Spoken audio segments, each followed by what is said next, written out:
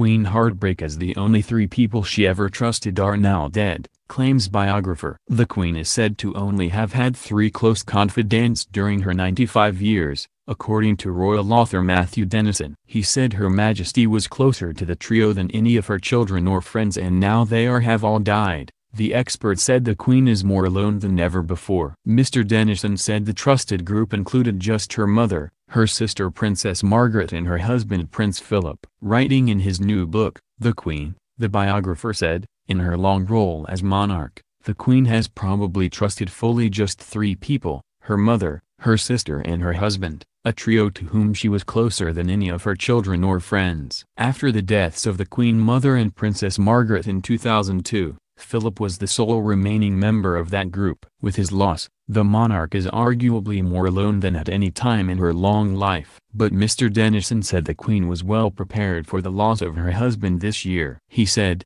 decades of building her personal strength and resilience through a complete understanding of the isolation at the heart of the role of monarch has, as I will reveal, prepared her for precisely such a time.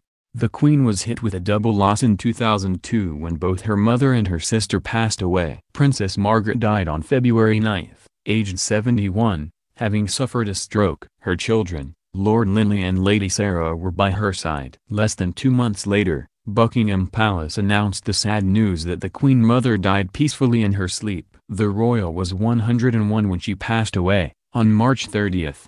She had been suffering with a bad cough and a chest infection. Prince Philip remained by her side throughout these two sad events, having been described as her rock. But sadly the Queen's husband passed away last month, having not long been discharged from hospital. Princess Eugenie, the couple's granddaughter, previously described the Queen and Prince Philip as each other's rock. She told Sky News ahead of the Queen's Diamond Jubilee. They are the most incredibly supportive couple to each other. Grandpa was unfortunately taken ill and for Granny to come and do that alone was probably quite testing and I think he is her rock, really, and she is his.